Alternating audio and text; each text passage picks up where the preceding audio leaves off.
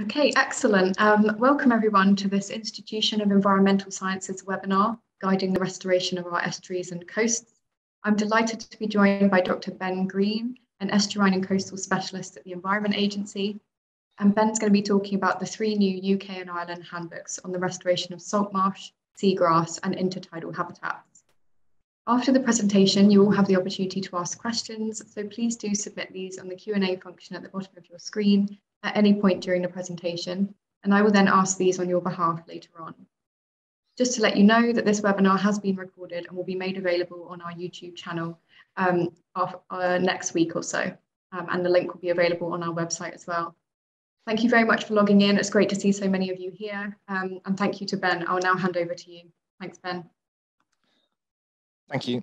Um, good afternoon, everyone. Uh, so, yeah, today I'm talking to you about our new restoration handbooks. Uh, so I'm yeah, Ben Green. I uh, a senior advisor in the Estuaries Coast Planning team at the Environment Agency.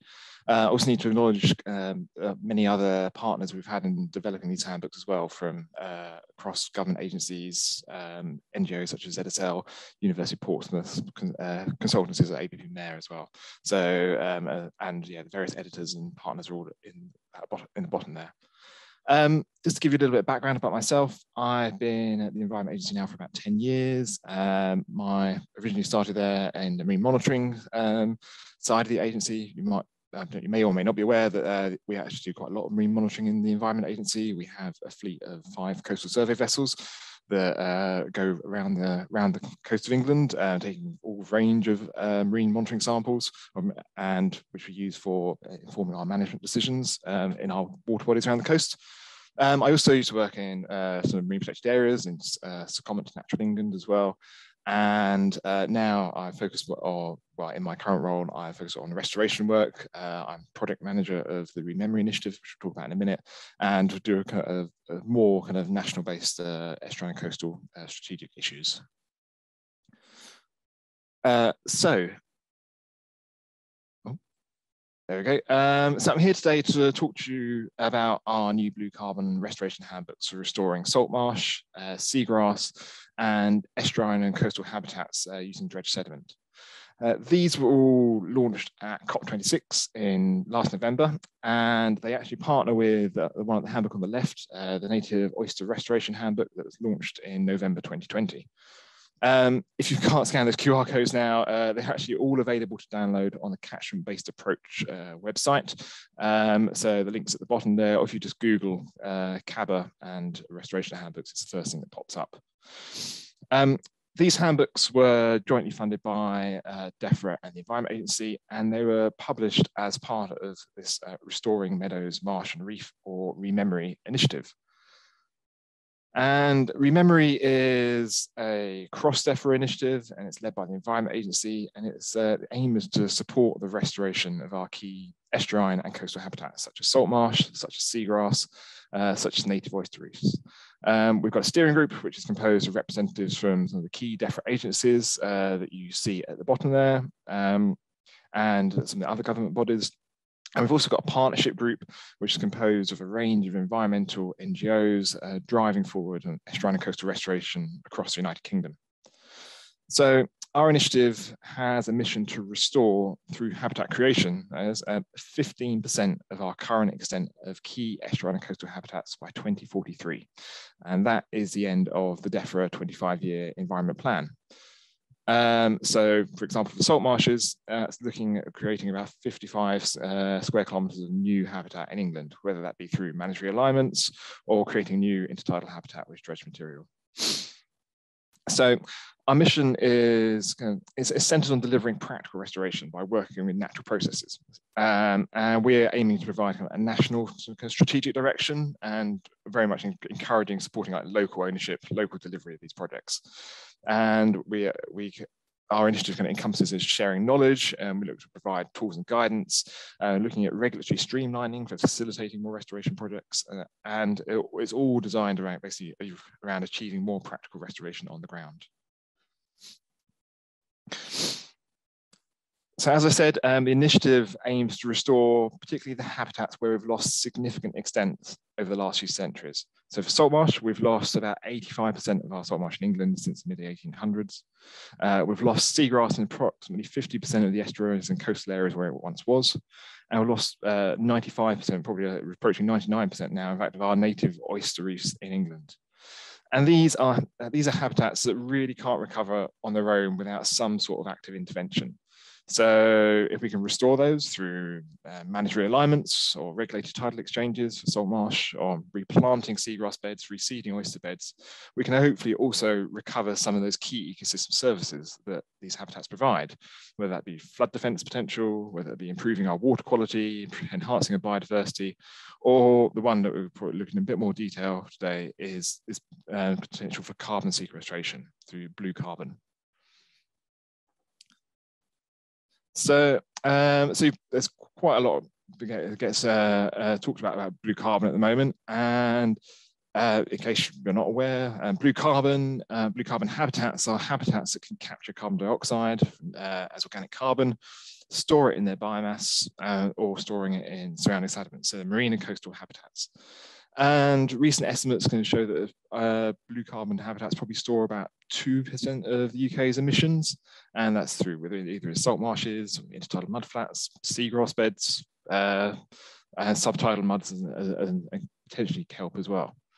Uh, so these habitats can sequester carbon by removing it from the atmosphere. They can store it in their sediment or in in vegetation, and potentially they can also release it again as well. With and that's whether these habitats can be damaged, whether that could be through um, disturbance activities, uh, such as potentially fishing or activities, or sediment disturbance, where these habitats can uh, are lost. It'd be things like through erosion of salt marshes or just a general loss of uh, seagrass habitats that we've seen over the last uh, 100 uh, years or so. And that can release the carbon dioxide back into the atmosphere, which obviously is a bad thing. So we hear a lot about blue carbon habitats and how do they uh, generally compare? Are, are they as good as we hear? Um, there's some, been some recent really interesting uh, evidence that's come out of Steart, which is a, a, newly created salt marsh habitat in Somerset. Um, and but when you when you look at um, the, uh, the carbon flux of the, the, sequestration rates of these different habitats. And this is uh, from some recently published reports by Natural England by Cefas. So I'm just going to collect these all together myself. I made this uh, graph myself. Um, you can kind of see in the UK that salt marsh is probably the best blue carbon habitat we have uh, at sequestering carbon. It's a bit better than seagrass, which, which itself is a bit better than mudflats, all of which are probably not as actually good as probably the best blue carbon habitat out there, which is mangroves, although obviously we don't have any of those around here. Um, and when you but maybe they're not quite as good as some of our, uh, our woodland habitats, uh, although there's quite a lot of variation in those error bars. Um, and all of the habitats, whether it be blue carbon or whether it be woodland habitats, are better than uh, sequestering carbon than arable land, intensive grassland, which barely does anything, and far better than degraded peat habitats, which uh, emit large amounts of carbon dioxide.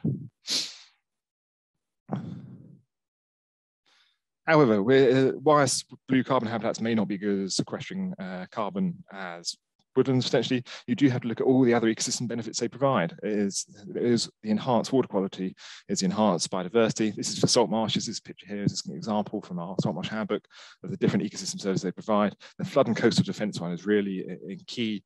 And uh, and they also do other things such as enhance fisheries by species such as sea bass that use salt marshes as nursery sites. So you need to have a look at the all uh, encompassing uh, ecosystem services that these habitats can provide to look at their real benefits.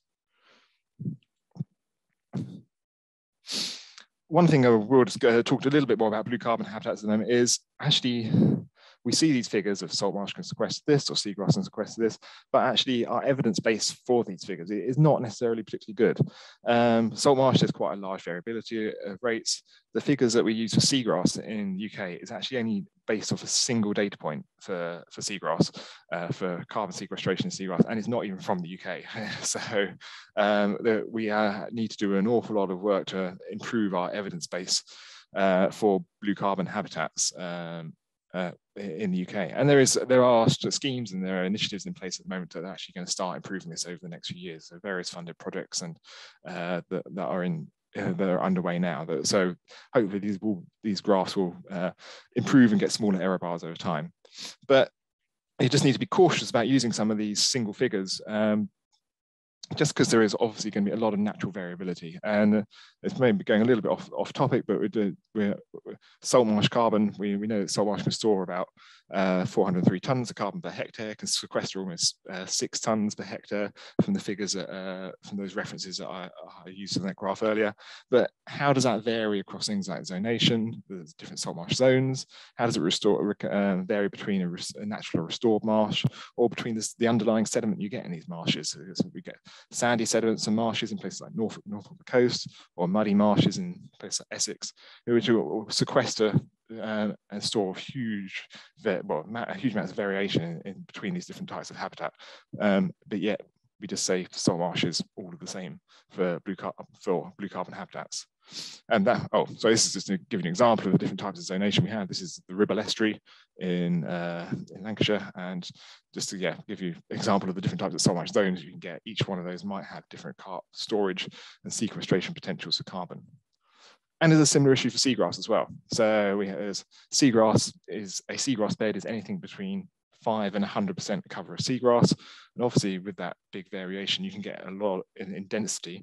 You can get, a, you could potentially get a large variation in carb, blue carbon, but we don't know that.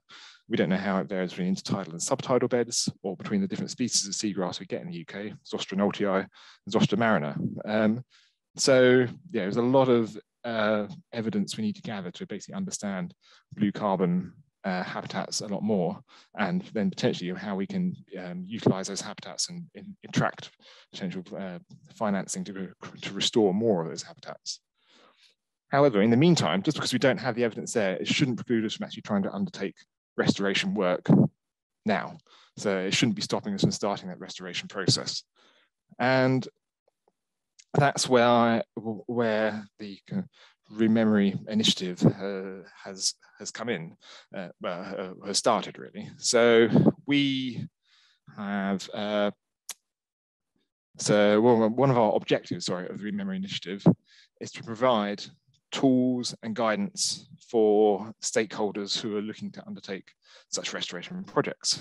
So I'll talk about, about the restoration handbooks in a minute, but one of the, we wanted to provide tools and guidance to, just to show people where they can restore and also uh, and how they can restore. So the handbooks fall into that how I can restore category.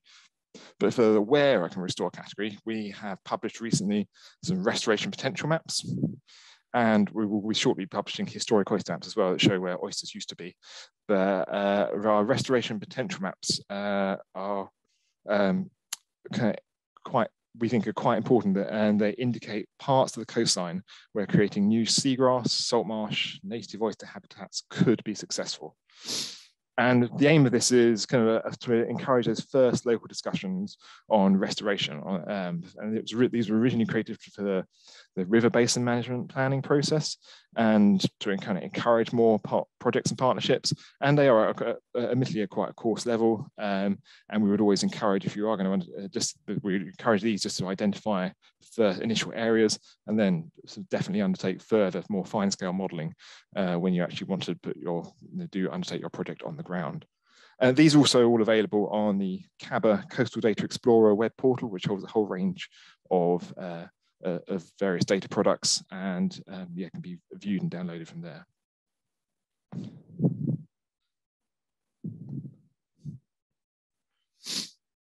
So the restoration potential maps, I said, kind of give you the, uh, the, guide, the information on where to restore. Um, and it was re the restoration handbooks uh, were, were, identified to provide the information on how to restore.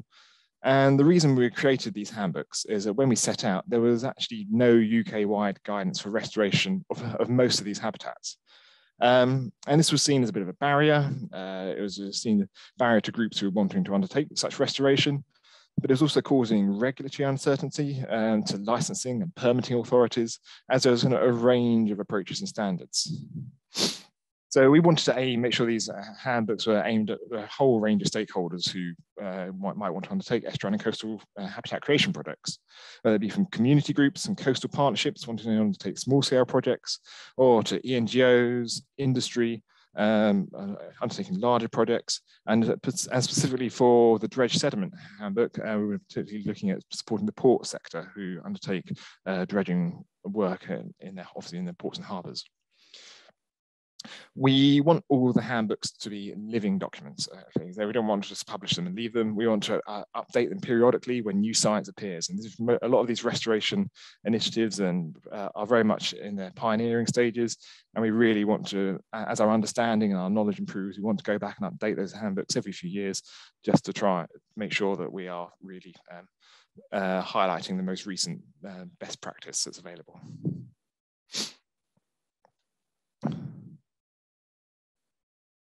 So the aims of the handbooks were to really to kind of capture the knowledge and expertise of the top national, international restoration practitioners in, in, in their subject area. Um, so we, uh, and to kind of lead to agreement of guidance across the and restoration and blue carbon community. Um, we wanted the handbooks also to be applicable across the UK. Um, so, and also uh, to other states in the Northeast Atlantic where these habitats are similarly degraded, um, to try and kind of showcase uh, the expertise that we have in restoration in this country in an international, international level. And uh, ideally, ultimately, it is to you know, deliver uh, further restoration and enhancement of blue carbon habitats across the UK and Ireland as well. These habitats were both, um, these habitats and we are and our collaborators were from across the UK and Ireland.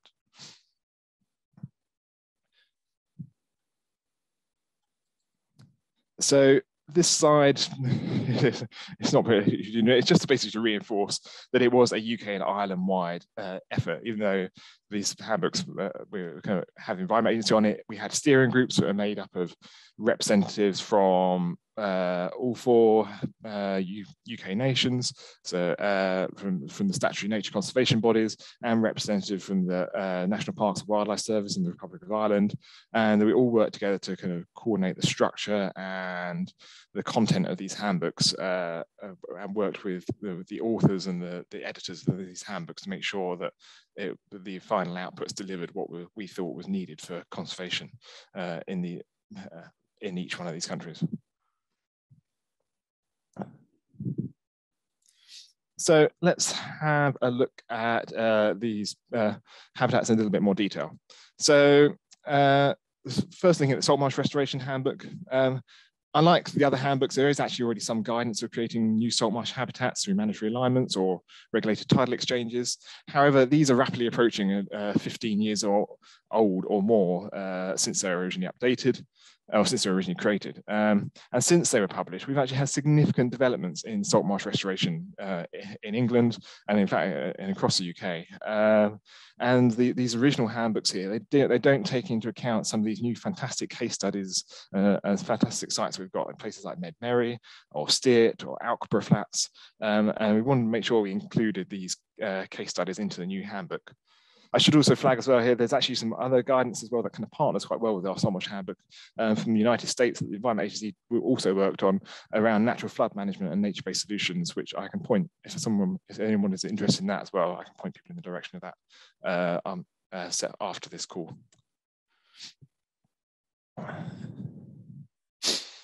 So Salt Marsh Handbook is split into five chapters. It's got an introduction that specifically covers looking at blue carbon and the other ecosystem services that salt marshes provide.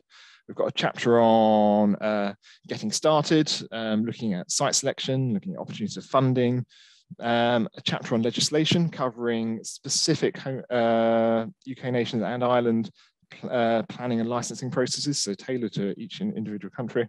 Um, uh, and the, yeah, the planning and licensing you need to do to undertake a realignment because it is quite a complex pro process. Um, we've got a chapter on communications and engagement uh, with stakeholders um, before, during, and after the restoration process, particularly focused on public consultations because that is um, that's quite key for, for salt marsh restoration. Um, and then a final chapter on the different approaches uh, to salt marsh restoration, taking account of the aims of your restoration project.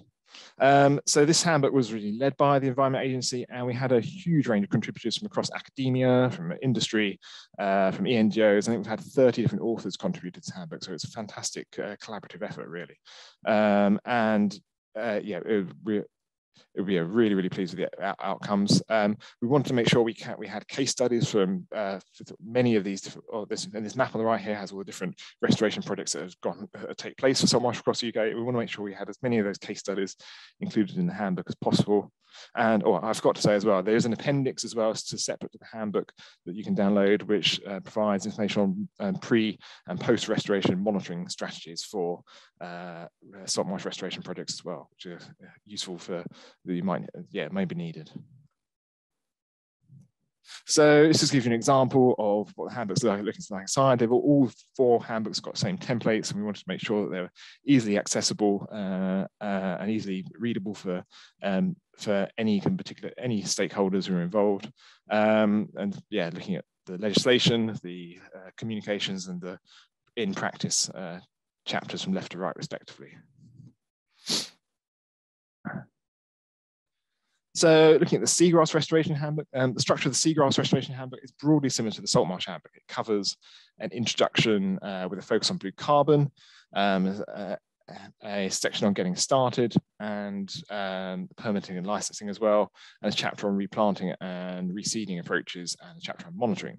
Um, however, when we, that's all, that was, that was our uh, aims, but when we first kind of set out for this seagrass handbook, there was the only resource that was actually available across Northwest Europe was uh, a, a, Swedish uh, seagrass restoration handbook, which has actually recently been translated by NatureScot, and it's now so it's now in, in English um, and available from uh, NatureScot. And uh, the, we wanted the Seagrass Handbook really to bring together the knowledge and expertise of some of the current projects that are going on around, around the UK. We've got Project Seagrass in the University of Swansea, who are doing fantastic restoration in Wales and starting new restoration projects in England and Scotland as well. Um, we've got the, the Life Remedies project uh, managed by Natural England, which is looking at seagrass restoration in Plymouth and in the Solent. Um, so we wanted to encompass all of those pioneering projects there's a range of different approaches to seagrass restoration, whether it be replanting seeds or replanting plants directly, intertidally and subtidally.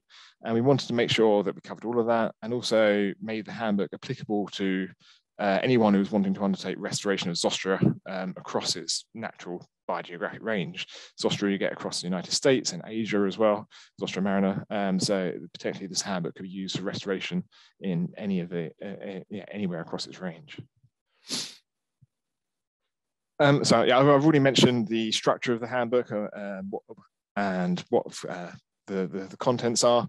Um, and yeah, some examples of what uh, of what it looks like, and particularly the, the, chapter three here, looking at all the different methods you can use for undertaking uh, seagrass restoration, trying to uh, sort of to help you identify what methods could be the best way forward for for your particular project. Um, the public engagement chapter, I think, is particularly key. Uh, seagrass restoration, in particular, require uh, relies quite heavily on volunteers, and I think uh, the public get some of the examples of public engagement and communications in some of the projects that have taken place in the UK to, to date are really amazing. Uh, some of the work we're engaging with schools and uh, and uh, local and local partnerships are really really fantastic, and I think it was great we managed to highlight those in that chapter. Um, looking at the third handbook now, the Restoring Intertidal Habitats with Dredged Material. Um, this is a bit of a, a different handbook to the, the other two. And um, well, so that this map on the right here, uh, each one of those points on that map is a disposal site for dredged sediment uh, uh, across uh, England. Um, there, are, there are many of them. Um, and these are this is sediment that's been dredged for navigation dredging in ports and harbors. And uh, across all these sites, it's about 17 million meter cubed worth of sediment is disposed in these sites at sea each year. And from all that 17 million meter cubed, 0.4% is, is used for restoration in some way or another. So sorry excuse me. So um, there is a huge potential uh, for utilizing dredge sediment for for restoring habitats and for uh, enhancing a, and developing a more sustainable uh, uh sediment resource um, that we can use uh, within for, for, for dredging. Um, However, it's when it comes to blue carbon, it's maybe a little bit of a mixed bag. Um, the dredging process will release carbon from sediments, but then taking that material and depositing it uh, on in intertidal habitats uh, can then actually enhance blue carbon by actually restoring these blue carbon habitats. So you take dredge material, deposit it in the in mud flats, and then you can create potentially create new salt marshes as a result that uh, can yeah obviously improve our blue carbon stocks. Um, and in case you're not, if you're not aware of the process, uh, we have maintenance dredging, which, uh, which uses excavators and hoppers uh, to take um, sediment from uh, from from an estuary or from harbour or port, uh, and then we can actually recharge it and deposit it back on the uh, in the intertidal mudflats or intertidal areas using rigs like this, which can be used to pump it back into uh, into the position to to elevate uh, the, the mudflats and and uh, create new habitats. So they can, uh, the material can be deposited back on either through directly depositing it through grabbing, or you can hydraulically pump uh, sediment back from, from a dredge site or dredge, uh, uh dredge vessel uh, onto the marshes. And this is an example from uh, Lymington in the Solent. and this is a project where the yeah, dredge sediment is piped directly onto an intertidal mudflat and you can see from where it was originally uh, deposited um, over the space on is the set of images on the right here, over the space of maybe uh, six or eight years. Um, the, once the sediment was deposited, there's actually been a, a, a colonization and a growth of pioneer salt marsh, slowly turning into uh, low salt marsh um, over over that period. So the process uh, can, can really have uh, yeah benefits to your to our blue carbon habitats. Um, so uh, the chapter, the, the, handbook itself um, is developed by uh, the uh, the beneficiaries working group, which is across DEFRA and NGO group, looking at looking at this improving this process and uh, using this process more in restoration, and working with Cefas and consultancy ABPmer and it's a, got a chapter on introductory chapter to using dredge sediment, looking at the methods in chapter two, a third chapter looking at the regulatory processes around it, particularly is a little bit different to some of the other handbooks. So obviously you have to look at the chemical contaminant contents in your sediment, and then a fourth chapter looking at recommendations going forward. Um, finally, I want to mention our Native Oyster Handbook. Um, it was published in November 2020, and it's not technically, native oysters aren't technically a blue carbon habitat, as they, they do very, well, they do some minimal sequestration benefits potentially from what we understand. Um, again, it's available, as we work within the UK Native Oyster Network. It's a key habitat to restore though, because it does have many other benefits and ecosystem services, not necessarily carbon, but water quality, biodiversity benefits as well. Um, it's available also on the CABA website and on the Native Oyster Network website. And since we published that handbook, uh, the Native Oyster Network also published a biosecurity and a monitoring handbook specifically for UK uh, for European native oyster restoration. So I'd yeah, very much encourage you to yeah, read those as well if you're interested in undertaking that sort of restoration work. Um, we've also got a set of infographics as well um, that we designed for all these handbooks.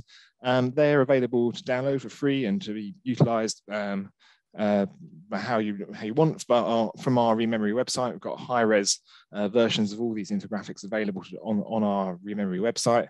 Uh, if you just Google, um, it's part of the and Coastal Sciences Association website. So if you just Google ECSA and ReMeMaRe, it should be the first thing that pops up.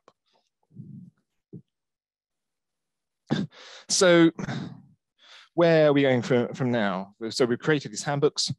What is next? So we're looking for new opportunities of opportunities for restoration.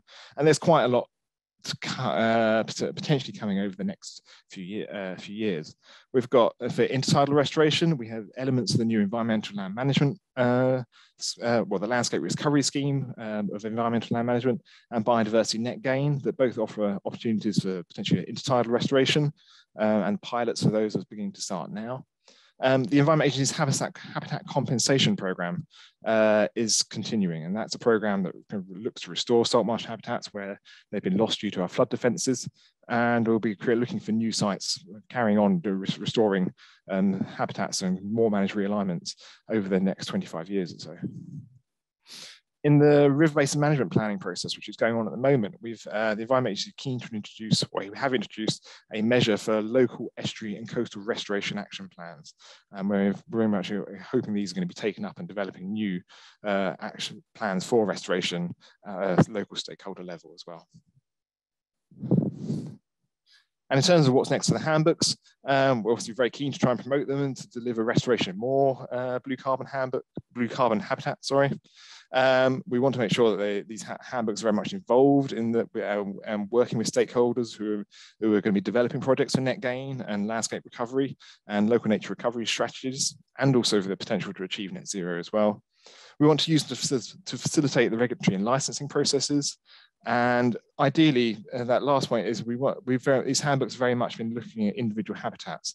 Um, we really want to look at actually uh, looking at a seascape restoration approach, and actually always looking to use all these handbooks together to encourage not just salt marsh restoration, not just seagrass restoration, but a, a combined uh, sea, seascape approach for holistic um, estuarine and coastal restoration. And that's really the ideal way that we want to kind of look towards restoring our estuaries and coasts uh, in the future. So yeah, that's uh, all I have to say. And uh, yeah, thank you very much for listening and happy to take any questions. Thanks so much, Ben. That was so interesting and great to hear about these resources that are now available. Um, so I'll just, uh, we'll kick off the Q&A section now. So please do put your questions in the Q&A function at the bottom of your screen. Um, just to just kind of kick things off, um, just a quick question. Um, you mentioned about biodiversity net gain being an opportunity in this space for restoration. Um, forgive me for my ignorance, but is there much in the area of guidance for marine net gain or coastal net gain? Uh, where biodiversity net gain will run down to the intertidal zone, so intertidal habitats will be will be covered by it, um, I believe. Uh, marine net gain is still in process at the moment, and still a lot of, uh, as far as I understand, anyway, it's not something I'm directly involved with, but uh, there's a lot of thinking about how it will work, and but I think it's still very much in uh, in to be well it's going to going to be going ahead at some stage. It's just there's a lot, a lot of thinking to uh, still to be done on how exactly it's going to be implemented. Great thank you. Um, and then one other question is um, you demonstrated in your in your presentation um, that the re restoration of salt marsh, for example, provides numerous ecosystem services, um, including for carbon sequestration, biodiversity, um, so how do you think we can better connect the organisations working in this space? Um, for example, the UNFCCC and the CDB, uh, CBD, sorry, um, so that they can kind of work together to support these multifunctional solutions? Um, there are, there, Are, I think there are some global initiatives for nature-based solutions. I think the IUCN has recently published a kind of a global standard for nature-based solutions that um, should hopefully try and start bringing together some of these uh, these kind of uh, more international uh, approaches uh, to try and kind of yeah, link, yeah, try and link them together a little bit more. I think I ideally we probably we do we probably need to have a, a, bit more guidance on how to have a standard approaches and standard methods for some of these me measurements. We have there are standard approaches out there for blue carbon measurements but some of these other ecosystem services we don't really again we're still lacking a lot of evidence about how much value trying to value uh, um, how much salt marsh can be for as a flood defense or how much salt marsh can be for nutrient remediation. And i think um, as, as we kind of develop these natural capital approaches which seem to be very much more becoming they're becoming uh, more prominent over the next uh, over the last few years and uh, into the future, I think we'll probably have to yeah work a lot more in partnership in order to have a standard approaches that can be applicable across these different schemes and initiatives. That makes a lot of sense. Thank you. Um, we've got a question here from a, a postgrad student um, looking to do a project in creating wetland. Um, and to create habitat around the effluent of the dairy industry. Just he, he was just they're just asking for any advice in this area or, or how you think you can get involved in these types of projects.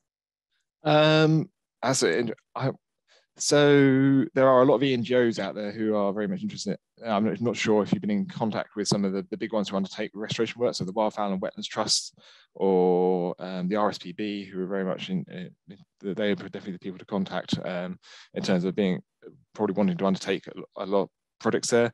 I know the Wildfowl and Wetlands Trust in particular have got a lot of PhDs and research uh, projects running in some of their sites, um, particularly like such as Steart Marshes, I mentioned earlier, looking at the benefits of these habitats. So they would probably be a good, good group to contact first uh, to, to, yeah, explore those opportunities.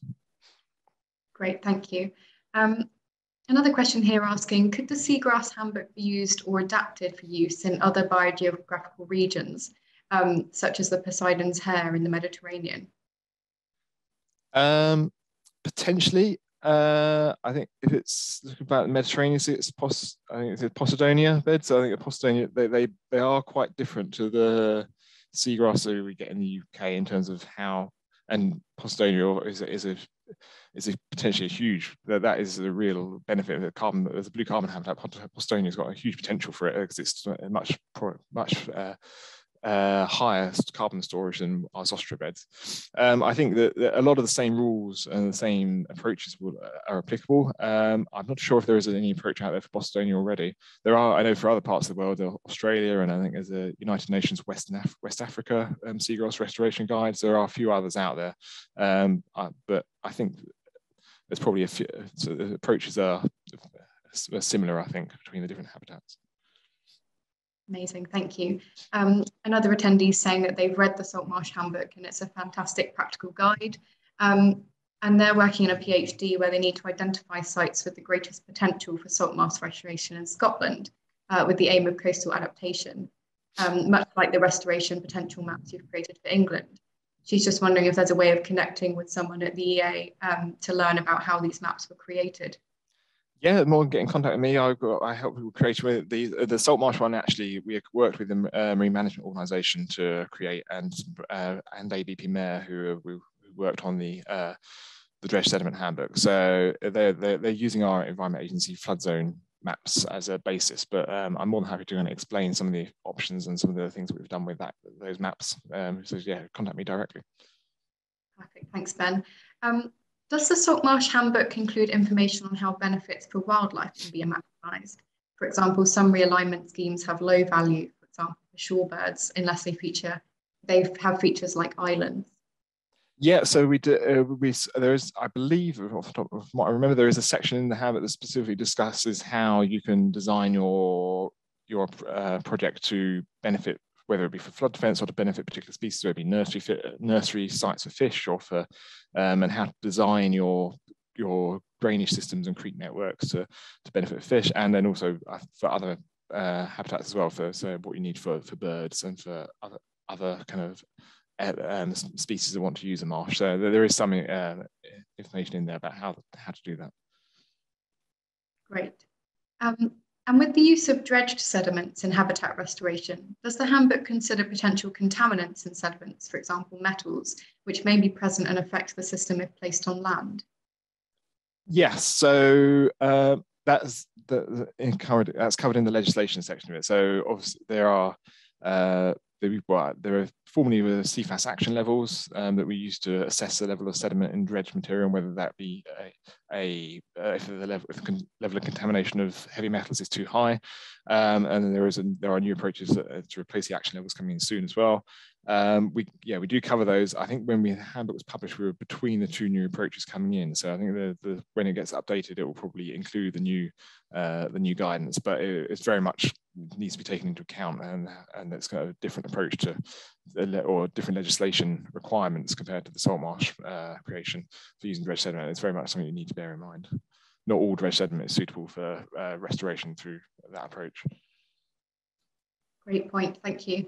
Um, and does using the handbooks for restoration projects allow for organisations to formally offset greenhouse gases? For example, like applying the Woodland Code does for woodland restoration? No, they're not. A, they're not a carbon code. There are there are plans for a salt marsh carbon code, um, such as uh, similar to the peatland and the woodland codes that are already there, and that's something that uh, the Centre for Ecology and Hydrology are currently exploring at the moment. Um, but our handbooks are not uh, equivalent to that. thank you.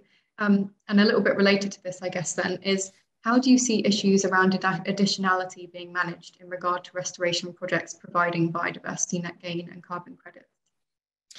Additionality is in uh, we, the benefits just get utilised repeatedly by um, other for different schemes. Uh, I guess I think they mean how would you, for example, measure measure the net, the net gain or or the amount of carbon that's being sequestered in these habitats?